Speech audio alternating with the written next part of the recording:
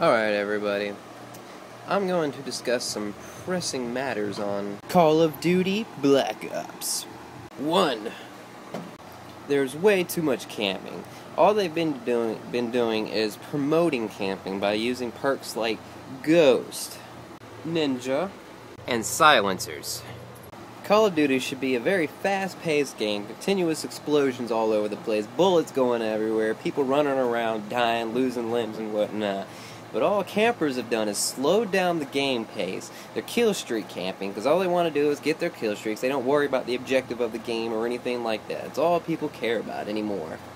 Two, they need to get rid of all these ridiculous things that people just simply get annoyed with. They need to get rid of the noob tube and the RC car. Those are just simply annoying that for some reason they've had the noob tube since what Call of Duty Modern Warfare, the first Modern Warfare.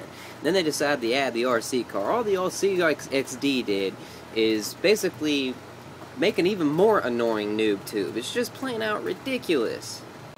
And three, give us back some of the older weapons. I, I miss the Kar 98, MP40, MP44, the grease gun, the Lee Enfield, all that good stuff, the Gewehr. Call of Duty 2 was, in my opinion, by far the best Call of Duty game out there.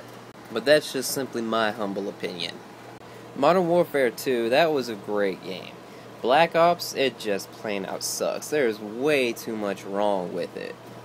Hopes for Modern Warfare 3, take out Ghost. I mean, just get rid of it. Ninja, all the ridiculous, I mean, like, the RCXD, the noob tube, take out that crap. The kill streaks, I saw they're bringing back some kill streaks back from Modern Warfare 2. I think that's a good idea. They're getting rid of some from Black Ops. I'm not really too disappointed. At first, I thought it would be a good idea to make it so you can't use kill streaks to acquire new kill streaks, but it just kind of slows down the gameplay. So I think they should bring it back so you can use kill streaks to acquire new kill streaks. It will speed up the gameplay more. It will make the game more hectic instead of just slow and boring. Games on Black Ops last way too long. In Modern Warfare 2, yeah, they are quicker, but to me it was more fun because there's just so much more going on. But again, this is all my humble opinion and only my opinion. I don't know if any of you out there share this opinion. But that's just mine, and I hope that Black uh, Modern Warfare 3 will be better than Black Ops, because Modern Warfare 2, in my opinion, was better than Black Ops. Black Ops just sucks now. Too many campers and too much slow gameplay, but I won't get back into it. I already talked about it. But hopefully Modern Warfare 3, it will be a lot better. I can't wait for it. I mean, I'm gonna get it, even no matter what I hear about it, because everybody's gonna get it. So this has been Vash5 expressing my opinion.